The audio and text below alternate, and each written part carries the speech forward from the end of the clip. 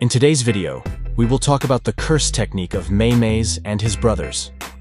Mei Mei is a grade 1 sorcerer who has created a binding vow to strengthen his innate technique so that his single attack is enough to destroy any special grade curse. So first, let us understand his curse technique, and then we come to the part about binding vow. The name of Mem's innate technique is Blackbird Manipulation, in which she can control the crows by putting her curse energy inside them. There are three special things about this technique. First, it can be used on many crows. It can be applied simultaneously. Secondly, Mei can control her crows from a distance. And thirdly, she can also share vision with Cross, meaning that whatever her crows see, Mei Mei can also see normally.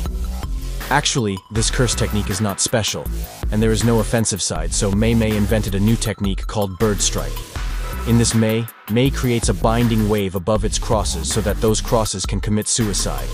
Force, after which he strikes his opponent and executes him in a single shot.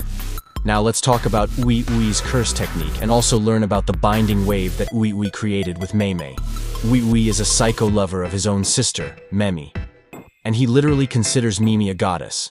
If she says that you can give your life for me, then he will happily give his life, and will also take someone's life.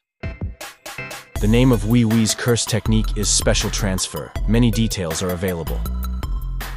No, I did not ask for anything, but I can tell you as much as I have been able to know, so basically, Ui Ui can transfer himself and someone else from one place to another in a short time, and only by using his curse technique. Ui Ui had gone to Kuala Lumpur from Japan after fleeing from the Cossacks in Shibuya Arc. To please his elder sister, Ui Ui has created a binding vow in which, unless Mei Mei gives permission, Ui Ui will not use his curse energy, or else no one will use water.